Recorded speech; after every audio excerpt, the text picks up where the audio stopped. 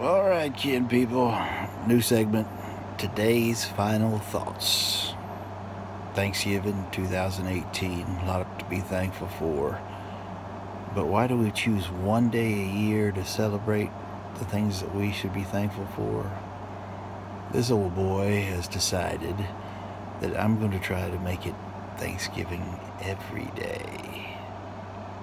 Every day. Not that I'm going to have turkey and ham and dressing like I did today and just make a pig of myself every day, which I have a problem with, as we all know. But I think we need to be more grateful and more aware and more thankful every day and not just make a holiday out of one day a year and uh, uh, lift it up on a pedestal just that one day. Something to think about. Today's final thoughts. Love y'all.